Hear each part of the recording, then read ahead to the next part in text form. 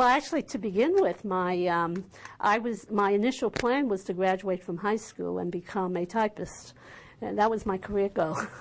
Okay. Well, tell me a little bit more about that. Was it something that Well, some of that actually is related to uh, family background, culture, and all. My parents were immigrants, and um, the idea of getting a high school education was considered a real accomplishment because in the village where my parents uh, had immigrated from in China, that uh, my father had a ninth grade education, my mother had a sixth grade education, and my father was considered more highly educated.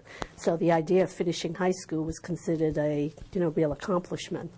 So the idea of going on to college was not viewed as being important either because of the standard, but also because being female.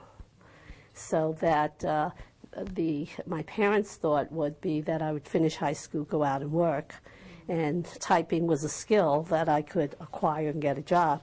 and it had certain, uh, in terms of gender, it was Right. appropriate. That's right. During that time, being a typist or secretary was like the ideal. So, uh, so I had planned to go on to college, uh, not planned to go on to college, but fortunately had some uh, uh, high school teachers who had essentially said to us, "You will go to college." so, uh, so I, we applied to colleges. I got in, and uh, then went to college with the idea that uh, that's why I majored in math because I figured I could finish uh, bachelor's. Where if I did psychology, I knew I had to go on. Let me just stop for a second. Let me just follow up on that um, thread, because you said it was um, teachers in high school that kind of said to you, Right. you're going to college. Right. Um, How did you take that information? What- Well, I took it uh, essentially as, uh, you know, teachers, certainly within the Chinese culture, are considered uh, those whom you respect. So that um, I, and basically I accepted, okay, this is what you tell me, this is what I'll do. And, because it was part of an honors program and so on. So I accepted that. Um, I don't know that I would have thought about going to college because my parents didn't have it in their worldview, basically. You know, because uh, having my father having finished a ninth grade education, you know, felt you know high school would have been uh, an accomplishment already.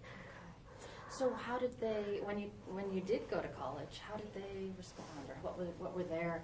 They were pleased because certainly there's a value placed on education, but there was also the dilemma of feeling that women did not need an education because they were only going to get married, you know, and uh, raise a family, and therefore the um, an education for women was not considered essential, whereas for males it would be considered important, but they weren't opposed to it.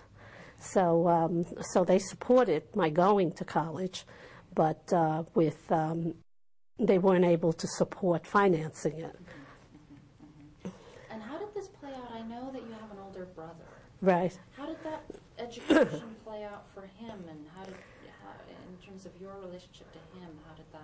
Well, he he went on to college. Actually, all my all my siblings, uh, my brother and my sister, went on to college, so that my parents were basically supportive of it. It was much more graduate school because we finished uh, college, and then my father again expected me to go to work, as he did when I graduated from high school. And then when I graduated from college, and I said I'm going to graduate school, he said, "What? Not more school?" And uh, and at that point, and then I had to explain what psychology was, you know, because they said, "Well, why are you going to school?" And I said, "Well, majoring in psychology. My parents both speak Chinese, you know, so I had to explain this in Chinese to them." So um, I'm proficient in Chinese, but the, the vocabulary are not ones you use in your everyday language like psychology. So when I try to explain psychology, I remember my mother saying at one point, after my going through an elaborate explanation, said, "Oh, you're going to be a brain surgeon." Because I was talking about the studying of the mind, and the only way she can understand the studying of the mind is you go into the mind and you do the physical, yeah.